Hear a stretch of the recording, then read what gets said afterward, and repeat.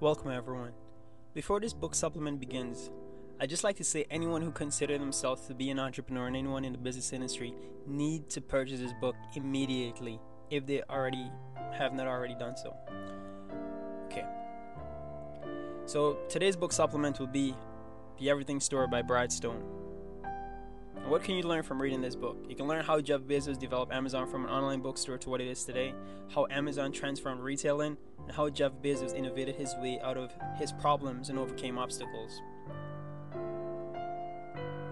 Okay, say 1994, Jeff Bezos was 29 years old and he worked at a hedge fund named D.E. Shaw on Wall Street. That's in the early stages of the internet. And Jeff Bezos pondered the idea what is the internet's commercial potential?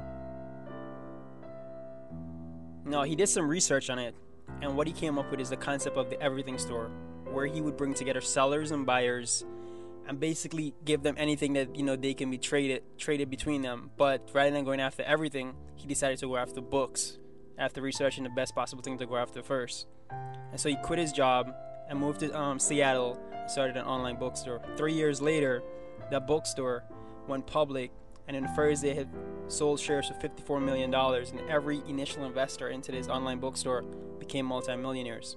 One year later, 1998, after having a strong foothold in the books industry, they decided to go after the music and DVDs industry and change their slogan of Amazon from Earth's largest bookstore to Earth's biggest selection.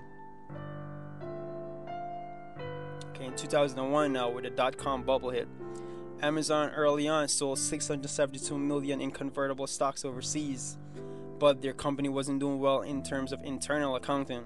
So what they did was Jeff Bezos he slowed the introduction of new products, he converted to Linux operating systems, and he improved distribution centers. So he used this negative as a positive to really revamp the company in a positive direction. In 2002, Amazon launched a, a service called the Free Super Saving System, where if customers purchase a certain amount of money, they would get free shipping. And after the recession or you know the, the dot com bubble, that's when their profit really started back going up. In 2004, Lab 126 was, was a, t- a satellite team in Silicon Valley was brought together by Jeff Bezos, and their purpose was to create a digital e-reader. In 2006, two similar satellite teams were also formed, one in Cape Town, Africa, and one in Seattle. The one in Cape Town, Africa, they produced the EC2, which just allowed developers to use Amazon's computers to run their programs, and the one in Seattle, the S3, it lets people store digital photos and document Amazon servers. Now, companies like Pinterest and Instagram would not be here without the help of Amazon. In 2007, that's when they launched the digital e-reader the Kindle. And yeah, the guy was like, yeah, so yeah, we build this. When your paper book sales go down, do not call my name. Because everyone expected, you know, for him to lose money. But the quarterly sales in 2007 stood at $3 billion. And it was due to Amazon's prime success, the fulfillment centers, and the Kindle. And it was a big shock to everyone, you know, besides Jeff Bezos. So also, after having a strong foothold in the books industry, the music and the DVDs industry, they decided to go after footwear. And Zappos.com was one of the leaders in it. So Amazon tried to buy them, but Zappos was like, "Nah, bro, we're not we're not selling." Then Amazon did. They started Endless.com to sell their own footwear shoes and stuff like that.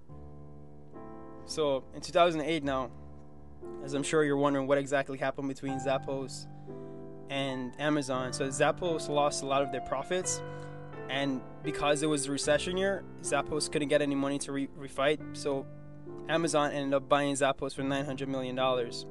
So now Amazon had a strong foothold in books, music, and DVDs, footwear. So they decided to go into baby items. Now the company that had a, a large sales something and was Quidsi or Diapers.com. So eventually Amazon go against them by um, undercutting the price by 30% and eventually buying the company for $600 million, similar to what they did to Zappos.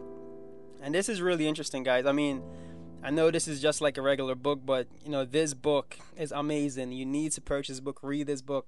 Amazon and Jeff Bezos are doing really big things, and we all need to take note and pay close attention to exactly how he execute what he executed.